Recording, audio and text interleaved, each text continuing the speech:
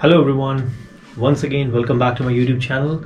I hope you all are doing great. Well, my name is Avinash Sharma and today in this video, we are going to discuss about how to read the birth chart.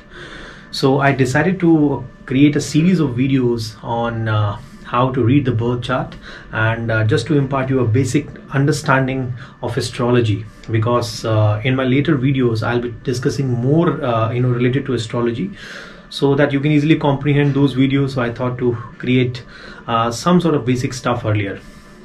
So without any further ado let's start the video. So what is birth chart? Basically it is the uh, you know planetary positions at the time of your birth. It is simply a snapshot of the planetary positions at the time of your birth. So in astrology there are 12 houses and 12 zodiac signs and 27 nakshatras so these are uh, very important to understand. Uh, so today we'll focus uh, you know more about uh, 12 houses and 12 uh, zodiac signs. So as you can see on the screen right now Uh, there are 12 houses uh, signifies in this chart right? So these uh, are diamond square boxes called the houses. As you can see the number one that represent uh, the house and similarly it goes from 1 2 3 4 5 6 7 8 9 10 until 12 so there are 12 houses. And every house signifies something in astrology. Like for example first house where the number 1 is written is your ascendant. It's you know you. It's your body and the opposite of one is seventh which is your uh, you know that seventh house uh, that seventh number house signifies your spouse. So we'll discuss about each and every house in separate video. Don't worry about that. So as of now just understand there are 12 houses and these 12 houses are permanent. They never changes right? Irrespective of the fact whether any number is written. For example in this video or sorry you know in this chart number one is written. So instead of number one if it's written number seven still that would be called first house right?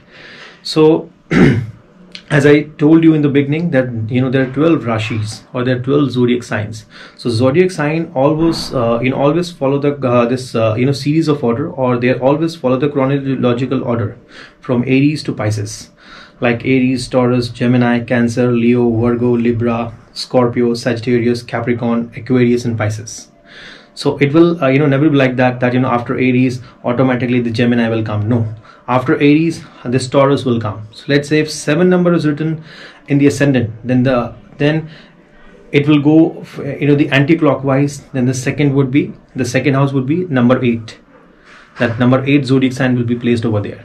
And one more thing in uh, this houses this uh, birth chart it always follow the chrono this you know anti-clockwise order. So from uh, ascendant it will go from the anti-clockwise up until 12 a number house.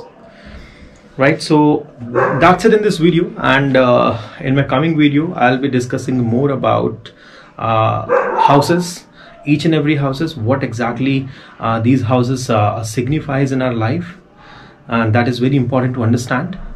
And i hope you like the video. Thank you so much for watching this video. Thank you